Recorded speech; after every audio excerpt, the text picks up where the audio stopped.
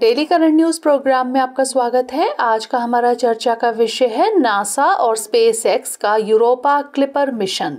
हालिया खबरों के अनुसार नासा और स्पेस एक्स ने यूरोपा क्लिपर मिशन को लॉन्च करने का लक्ष्य रखा है। इस मिशन को 10 अक्टूबर 2024 को फ्लोरिडा में नासा के कैनेडी स्पेस सेंटर के लॉन्च कॉम्प्लेक्स उनतालीस ए से स्पेसएक्स के फाल्कन 9 हैवी रॉकेट की सहायता से लॉन्च किया जाएगा। बता दें कि इस मिशन को बृहस्पति के चंद्रमा के लिए लॉन्च किया जाएगा।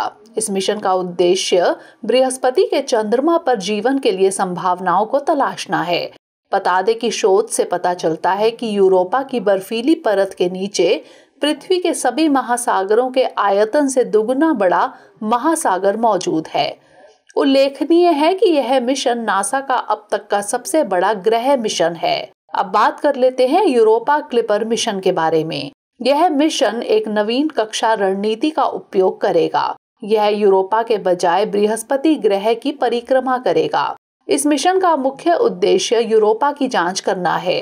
यह मिशन अपने साथ नौ उन्नत वैज्ञानिक उपकरण और एक गुरुत्वाकर्षण विज्ञान उपकरण को ले जाएगा। यह मिशन इन उपकरणों का उपयोग बृहस्पति के चंद्रमा की सतह, वायुमंडल और संभावित भूमिगत महासागर की विस्तृत जाँच एकत्र करेगा।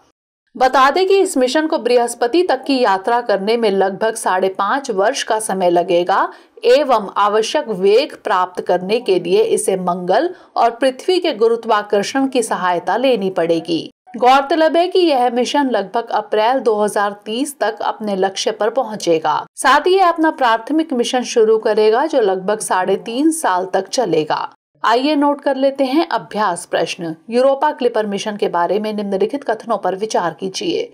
एक, नासा और स्पेस एक्स ने यूरोपा क्लिपर मिशन को लॉन्च करने का लक्ष्य रखा है। दो, इस मिशन का मुख्य उद्देश्य यूरोपा की जाँच करना है। उपयुक्त में से कौन सा यहाँ से कथन सही है या फिर है? केवल एक, केवल दो, एक और दो दोनों या फिर ना तो एक और ना ही दो। इसका उत्तर हमें कमेंट सेक्शन में ज़रूर भेजिएगा। धन्यवाद।